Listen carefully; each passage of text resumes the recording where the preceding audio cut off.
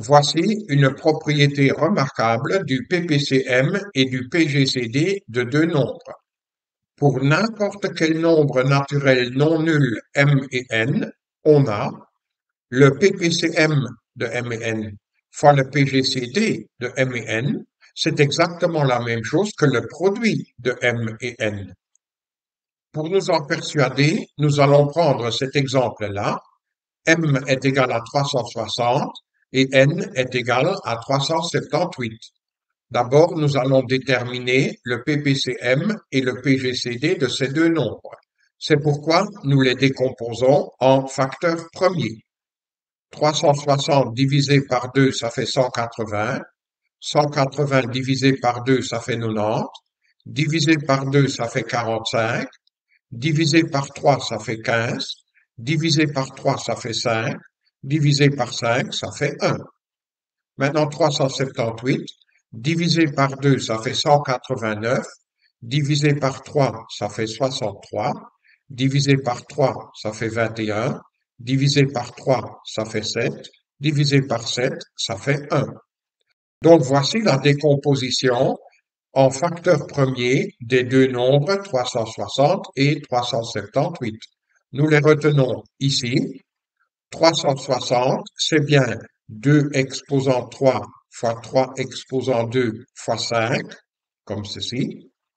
Et le 378, c'est 2 fois 3 exposant 3 fois 7, comme ceci.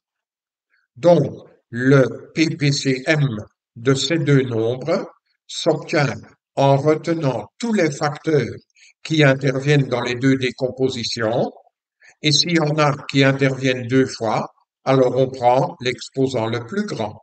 Donc pour 2, c'est l'exposant 3. Pour 3, c'est l'exposant 3. Pour 5, c'est l'exposant 1. Et pour 7 également. Le produit de ces quatre nombres, ça donne 7560. Donc voilà le plus petit commun multiple des deux nombres de départ. Pour déterminer le PGCD de ces deux nombres, c'est-à-dire le plus grand commun diviseur, on retient uniquement les facteurs qui interviennent deux fois, donc c'est ici le 2 ainsi que le 3, et on les prend avec l'exposant le plus petit. Donc pour 2, l'exposant c'est ce 1, voilà, et pour 3, l'exposant le plus petit c'est ce 2. Voilà et 2 fois 9, ça fait 18. Donc le PGCD des deux nombres de départ, c'est 18. Si nous multiplions le PPCM avec le PGCD, ça signifie que nous multiplions ce produit avec ce produit-là. Faisons déjà ça, comme ceci. Et maintenant, nous allons déplacer ce 2 et ce 3 au carré sous cette forme-là. Donc le 2 on va le mettre là, et le 3 au carré, on va le mettre là. Pourquoi fait-on ça?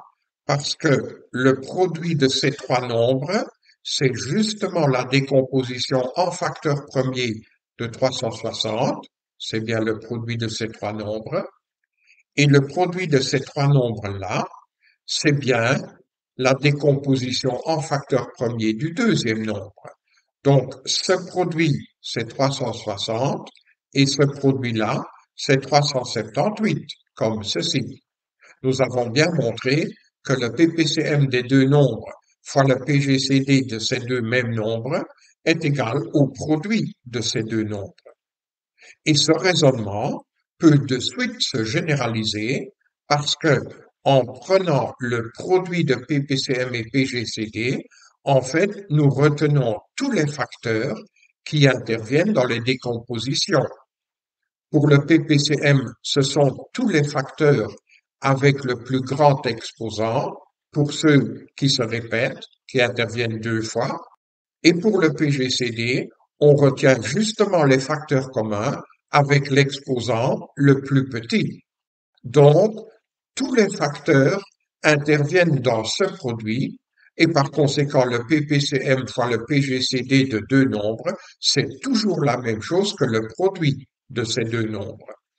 Pour notre exemple, on peut bien sûr encore vérifier si PPCM fois PGCD est bien égal au produit des deux nombres. Ben, 7560 fois 18, ça fait 136 080. Et 360 fois 378, ça fait aussi 136 080.